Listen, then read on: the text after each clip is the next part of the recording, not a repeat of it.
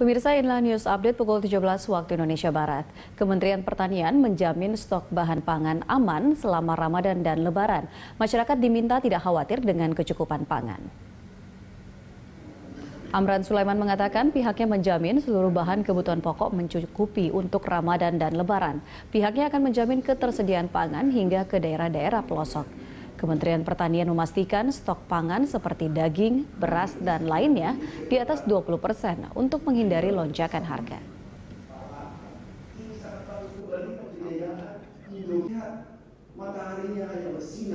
Stok pangan kita aman. Untuk ke daerah-daerah, kami sampaikan, khusus untuk Ramadan, kami sudah siapkan 20% di atas standar biasa, hari-hari biasa. 20% stok di atas daripada yang biasa. Dan perlu kami sampaikan, tidak ada alasan bawang harga bawang naik. Tidak ada alasan harga telur naik. Tidak ada alasan harga ayam naik karena kita sudah ekspor. Oversupply, nggak ada alasan.